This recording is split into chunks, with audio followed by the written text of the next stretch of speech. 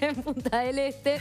Que vino Benjamín Vicuña, eso Que todo vino Benjamín. Vicuña. Y que Juanpi lo entrevistó. Sí, ahí Juanpi. está, todos saben eso. Bueno, pero Juanpi... Y hubo otra gente que habló también y que participó de la América. También, Ay, nosotras estamos este, muy faranduleras con argentinos.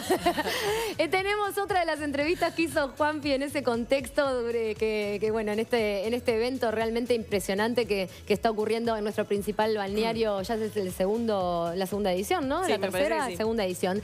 Estuvo Ismael Cala, ¿lo recuerdan de CNN? Obvio, el entrevistador de gran figura. CNN. Gran figura de CNN que vino a dar su charla allí al America Business Forum y Juanpi habló con él.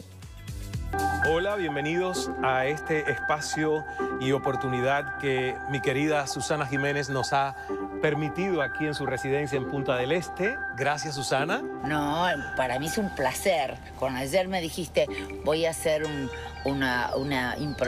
Meditación. Meditación para que se salve Australia, para que llueva, para que no mueran más. Murieron mil. Millones de Millones animales. de Es el estimado. 24 personas. Sí. Hay una alarma de evacuación de... Es muy importante, ¿no? La conducción de este evento y el manejo de estas figuras, la charla, un montón de gente expectante a lo que van a decir, los consejos también. Como, ¿Cómo es manejar eso para ti? La verdad que es un ejercicio de humildad ante todo, porque tienes que entender que hay un equilibrio muy fino cuando eres el presentador de- del evento en que el brillo realmente tiene que estar en los invitados, en las personas a las que vas a entrevistar. Le vas a extraer la sustancia, las lecciones de vida que le queda a la audiencia aquí, pero también a la audiencia global. La experiencia por muchos años, sobre todo en los últimos seis años donde estuve en CNN, que conduje el programa de entrevistas, me ha dado esa posibilidad de, de- crear esa fina línea de una conversación con sentido, con calidez humana, pero que esté centrada en que el brillo no caiga en mí, sino que caiga. Ismael, recién estuviste justamente en la charla con Adrián Suar y dijiste un concepto de lo primero que te habían dicho cuando saliste de Cuba y llegaste a California, si bien no me, no me equivoco, que era, eh, no es personal, son negocios. Y que para vos no era así, que para vos pasa a ser personal. ¿Cómo sería bien eso? Claro, es que hay decisiones que uno toma en los negocios donde es cierto que no la estás tomando por el fallo de una persona, sino por la reestructuración de una empresa, por el bien mayor de la empresa. Por eso a veces dicen, it's business, it's not personal. Pero lo que yo siempre digo es que cualquier decisión que va a ser comunicada a los seres humanos es personal, porque al final estás lidiando con personas. Entonces, la manera en que la comunicas, la manera en que desde la gratitud por lo que esa persona ha dado a la corporación, influye mucho en los sentimientos de ese divorcio, de esa despedida. Si tuvieras que darle, por ejemplo, un consejo a alguien que nos está mirando, que quizás perdió su trabajo, que la vida lo enfrentó a ese momento de, bueno, ahora tomar decisiones, ¿qué hacer? ¿Cómo, cómo enfocar la- el cerebro, la cabeza, digamos?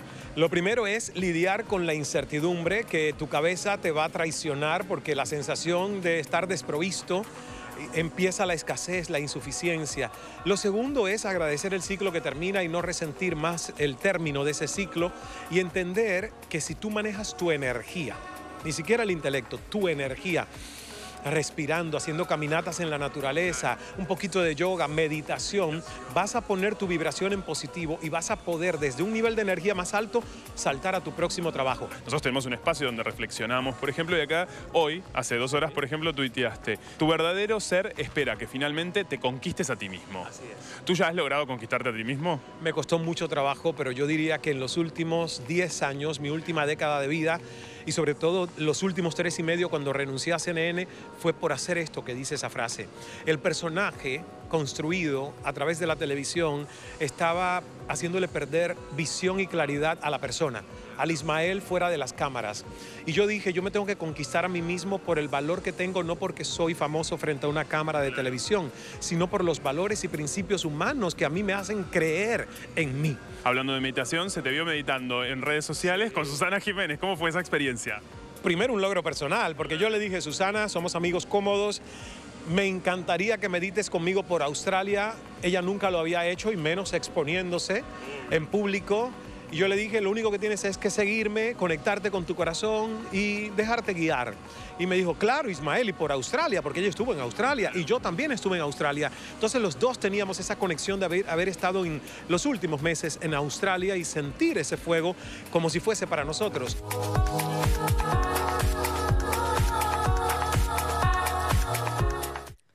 Cómo transmite, eh, Sí. Cala. Reconversión laboral también, porque pasó de entrevistador, que obviamente eso lo va a hacer toda su vida, a, no te digo gurú, pero sí a un guía espiritual, por decirlo de alguna forma, o de meditación, Sí. de calidad de vida. Sí, a- a, un coach motivacional. Un coach, tendría, capaz ¿no? que esa es la, La palabra, palabra más que gurú, claro.